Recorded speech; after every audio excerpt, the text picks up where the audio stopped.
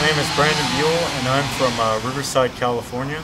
And I just want to start off by saying that this, uh, these three days that I've attended this instructor course with Vadim and Systema Spetsnaz has been the most uh, humbling experience um, I, I, probably have ever had.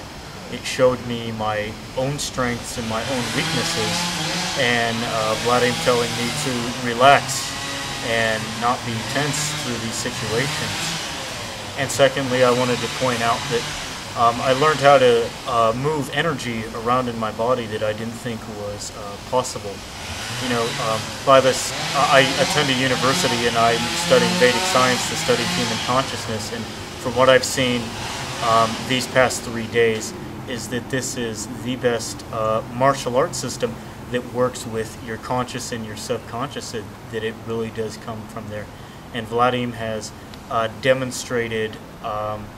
The best energy work I have seen anybody perform, and I'm uh, generally around a lot of uh, people who are yogis and who practice to seek enlightenment.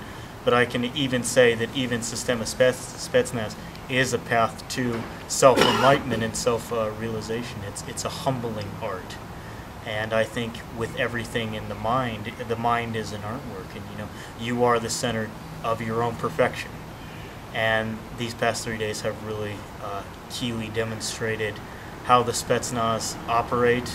And um, it's just been a great privilege that Vadim can come here and share this knowledge with us. And then I can continue this legacy and I can share it with my students and uphold the Russian tradition uh, to, the, to the most highest I can say. Um, I would say this is a humbling art.